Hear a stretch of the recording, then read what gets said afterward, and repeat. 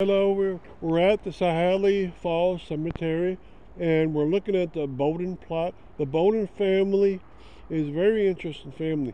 I've discovered that the Bowdoin family was initially buried in the South Hadley Center Cemetery, the one that happened to have been moved in 1904. And I've discovered through looking at the list of that 1904 cemetery, looking at the list of the the stones that were moved into the back of the evergreen and into the main body of evergreen, and I compared all those lists, and by subtraction, I figured out that the Bowdoin family was the only family that had their stone in that big a move in 1904 not go to the, the Evergreen Cemetery. They were put into the South Hadley Falls Cemetery, the only one. And I proved it mathematically by all these subtraction of the names. Incredible. So about eight of the Bowdoin family came here and they rejoined the other part of the Bowdoin family that was being buried in the falls. So, such as uh, the Bowdoin children and grandchildren were all buried around here.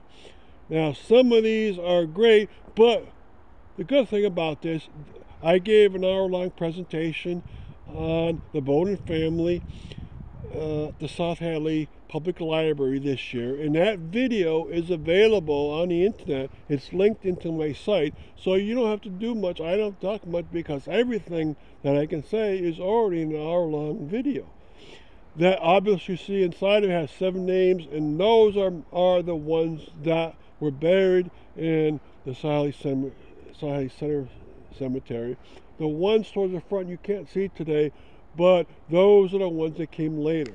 There was Henry Bowdoin who was one of the last children of the Bowdoin family, and his wife and his, I think, five of his eight children are buried in the cemetery and he might have had he might have been the one in 1904 to give permission for them to move the stone down here. They would have to pay with their own money for the move of the bodies and of the stone.